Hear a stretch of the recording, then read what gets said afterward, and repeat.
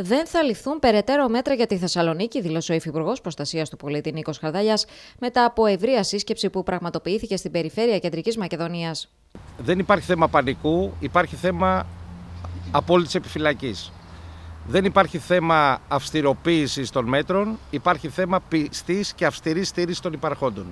Μέσα από αυτό το πλέγμα αντιμετωπίζουμε όλα τα ζητήματα τα οποία αφορούν στην αύξηση του οικού φορτίου σε κάποιες περιοχές και δίκαιε στη Θεσσαλονίκη. Με συνεργασία, με συνεννόηση θα μπορέσουμε να ανταπεξέλθουμε και σε αυτή την ε, κρίσιμη καμπή. Ευχαριστώ. Από την πλευρά του Περιφερειάρχης Κεντρικής Μακεδονίας, Απόστολος Τζιτζικώστας, έκανε λόγο για εντατικοποίηση των ελέγχων, ενώ ο Δήμαρχος Θεσσαλονίκης, Κωνσταντίνος Ζέρβας, είπε ότι το οικό φορτίο στην πόλη είναι το ίδιο με αυτό στις 15 Οκτωβρίου.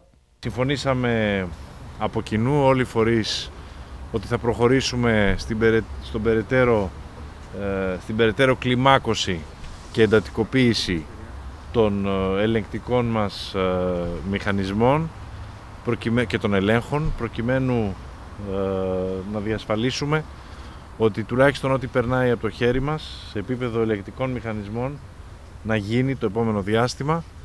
Και ταυτόχρονα συζητήσαμε για το πώς θα μπορέσουμε ο καθένας από τη δική του πλευρά να συμβάλλει στο να προσπαθήσουμε όλοι μαζί ε, να ε, καταστήλουμε αυτή την ε, δύσκολη κατάσταση σε επίπεδο κρουσμάτων που αντιμετωπίζει η χώρα.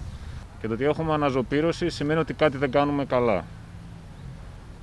Προφανώς θα πρέπει να είμαστε όλοι σε γρήγορση, αλλά από την άλλη πλευρά μετά από ένα χρόνο, μετά από όλη αυτή την κόποση που έχουμε, αλλά και όλη αυτή την εμπειρία που έχουμε αποκτήσει σημαίνει ότι θα πρέπει να έχουμε πολύ καλά ανακλαστικά. Αν θα φταίνε τα σχολεία, δημοτικά, γυμνάσια, ηλίκια, αν θα πρέπει να εφαρμόσουμε διαφορετικούς κανόνες στην αγορά, αυτές είναι αποφάσεις που πρέπει να λαμβάνονται με ταχύτητα και αν θέλετε και εξειδικευμένα για κάθε περιοχή της χώρας μας και πόσο μάλλον για τη Θεσσαλονίκη.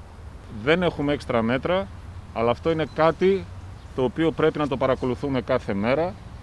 Βρισκόμαστε στις 15 Οκτωβρίου του 2020 όσο αφορά το οικό φορτίο, όσο αφορά τα στοιχεία που αφορούν την επιδημία, πράγμα που σημαίνει ότι θα πρέπει να προσέξουμε να γυρίσουμε το χρόνο πίσω από τις 15 Οκτωβρίου και όχι μετά από τις 15 Οκτωβρίου όταν ζήσαμε τις ε, στιγμές του Νοεμβρίου και του Δεκεμβρίου.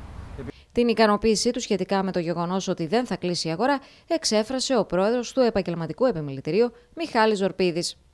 Αυτό το οποίο βγήκε είναι ότι δεν θα κλείσει η αγορά, αυτό το οποίο θέλαμε. Θα κοιτάξουμε να είμαστε πιο προσεκτικοί. Εμείς κάναμε μία πρόταση η οποία όμως δεν πιστεύω να υλοποιηθεί.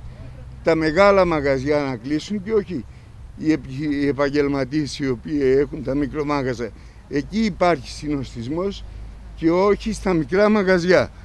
Στη σύσκεψη συμμετείχαν επίσης ο πρόεδρος της Περιφερειακής Ένωσης Δήμων Κεντρικής Μακεδονίας, δήμαρχος Πηλαία Χορτιάτη, Ιγνάτιος Καϊτετζίδης, ο πρίτανη του Αριστοτελείου, Νίκος Παπαϊωάννου, ο πρόεδρος του Εμπορικού και Βιομηχανικού Επιμελητηρίου, Γιάννης Μασούτης, ο πρόεδρος του Βιοτεχνικού Επιμελητηρίου Θεσσαλονίκης, Αναστάσιος Καπνοπόλης, ο πρόεδρος του Εμπορικού Συλλόγου Θεσσαλονίκης, Παντελής Φιλιππίδης και η Αντιπεριφερειάρχης Θεσσαλονίκης, Βούλα Πατουλίδου.